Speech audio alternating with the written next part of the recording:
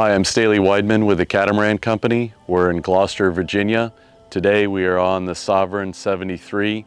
We'll be shooting this boat for the next day and we'll get some offshore shots for you later. You can see how beautifully laid out this boat is. Brand new mainsail, brand new jib.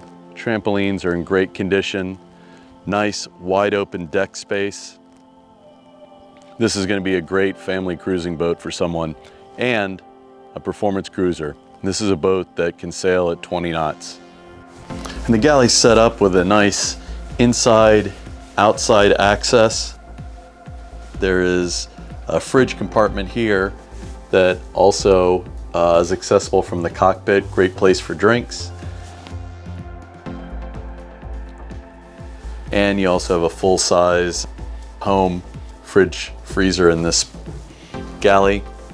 Large sink area, propane four burner stove and oven with an exhaust hood, lots of storage space. There's a toaster in that area. I think you could put a microwave in there uh, as well if you wanted. And then loads of cabinet space and uh, hanging glassware. You know, the galley's the center of all activity, most yachts and homes, and it's perfect to have this right on the center line of the boat to where you have a full wraparound area that also leads out into the cockpit. The galley's spacious, there's plenty of room for food preparation. You have the feeling of a island type of uh, kitchen like what you'd have in a modern home. You can see it's nicely illuminated, loads of counter space, a large double sink. It's a nice bar arrangement down here. And there's a slight step up. So as you come up into the galley, raised up a little bit. Yeah, really nice space, plenty of room to prepare meals. You can see the boat has a beautiful salon, plenty of room for seating, inside helm station.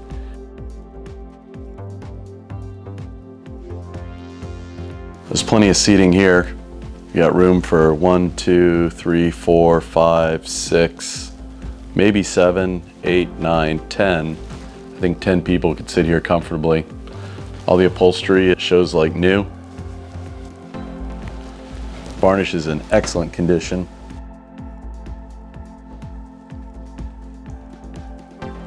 If you like the traditional feel of a yacht, this, this has it. You can see the teak and holly, all the woodworking on the floor is beautifully done. It's all in great condition. Boat's super clean. All these flat surfaces are perfectly varnished. The boat really shows nice and has a real classic nautical feel to it. Even things, you know, that are that are updated like the control panels and some of the cabinets all still have this very nice old world nautical feel to it. And you see interesting details like these doors, for example. You look at the craftsmanship that's in this boat, like this isn't a flat door, it's, it's curved and it fits perfectly. You know, this boat's been sailed around the world and still everything opens and closes easily and fits. I think it's a real testament to the kind of quality, fit and finish that this boat was built to. In this shot, you can see how much volume's in the salon. I mean, this salon is probably over 20 feet wide and you can feel how much space is inside this boat, how much headroom, how much volume, and it really has a great feel. All new Garmin marine electronics. And you'll notice you've got a set of throttles here, engine controls, bow thruster, anchor windlass, autopilot control, FLIR night vision.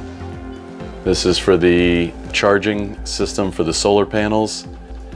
And what you'll notice is there's no helm, there's no wheel here. So from this position, the boat is operated with the autopilot only. So from the inside helm station, this is where you'd operate the boat offshore. And there's a single sideband radio here as well. You don't see those very often on cruising boats, but a very nice thing to have. Here we have a Victron Energy display.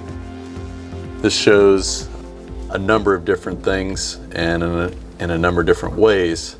Here we're showing the AC loads, the charging that's coming in on the solar panels. We're also able to see fuel tanks, freshwater tanks, a number of displays here. This shows the power moving through the DC bank from the solar chargers into the battery bank. And we also have a number of different ways to view this. Very, very nice upgrade. Uh, we're gonna have a look at these control panels down here. These are all easily accessible. This is a 110 volt and 220 volt system. So you've got the 220 volt uh, shore power coming into the boat and then also showing the power going to the pumps and the three uh, new AC chillers. Got the generator control here. That's for that 17 and a half kilowatt Onan. We've got the three controllers for the AC uh, chilled water compressors and selectors between shore and battery power. And then here we have another new updated Blue Sea control panel. This has 12 volt systems on it. This is the uh, controller for the satellite TracPhone. We also have Wi-Fi network for the boat and also uh, SIM cards for running the broadband internet on the boat. Like most of the items on board, there's a wireless remote for both of the anchor windlasses so they can both be operated uh, up and down with this wireless remote. Another nice feature to be able to stand anywhere on the boat and raise and lower the anchors or both of them. And I'm sure this makes it much easier to set and retrieve uh, your second anchor if you're using uh, two of them in an anchorage. Really nice to have. The Sovereign 73 has two bridge deck cabins, one port, one starboard. These would be considered like a master and VIP cabin.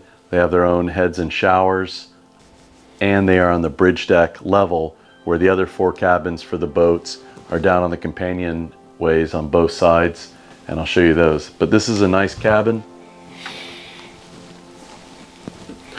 You've got a bridge deck window view from the cabin. There's a hanging locker and closets on this side. There's drawers underneath the berth.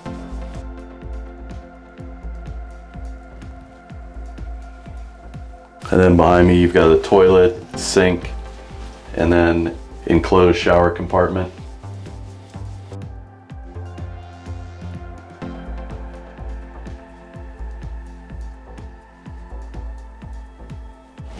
This is the starboard salon cabin.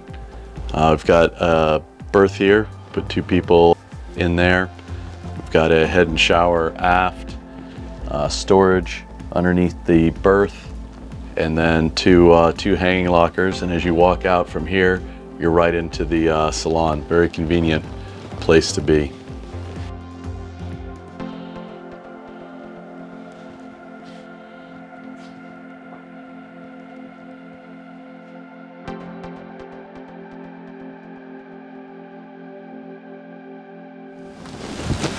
All right, we're gonna go forward and have a look at the port side of the boat, but you can see how much volume is inside here just walking through, and it has an enormous feel inside.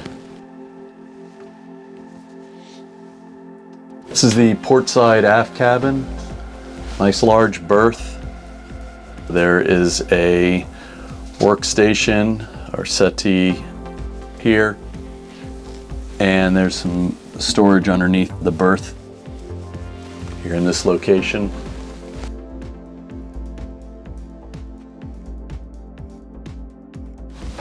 And we're going forward into the port forward cabin.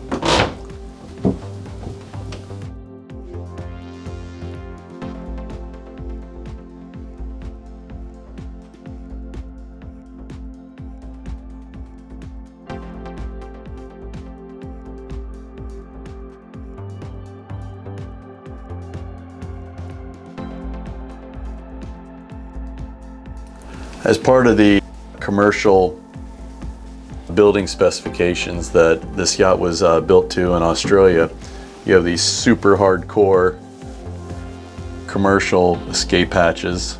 There's one of these in each side of the hull. They're obviously dry, they don't leak uh, at all, but these are much better than the plastic Lewmar hatches you see in a lot of the commercially built boats that you find in the market right now. And that's easily accessible here on the sides and makes use of that space as a hanging locker. This is uh, going forward in the boat. So we have a head and shower with a separate uh, shower compartment.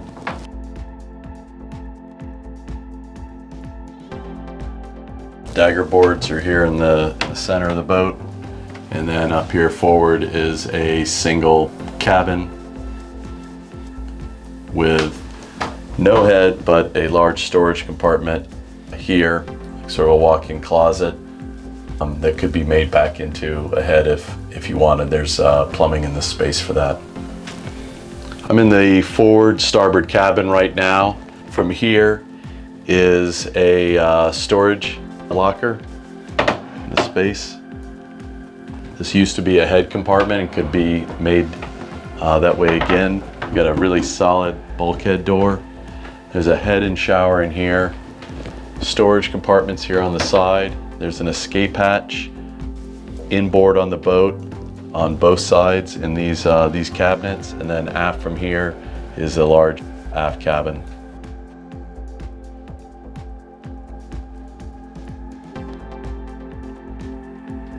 This is a starboard aft cabin. It's a large berth. And then there's storage along here on the side. There's a uh, small vanity area and some cabinets there.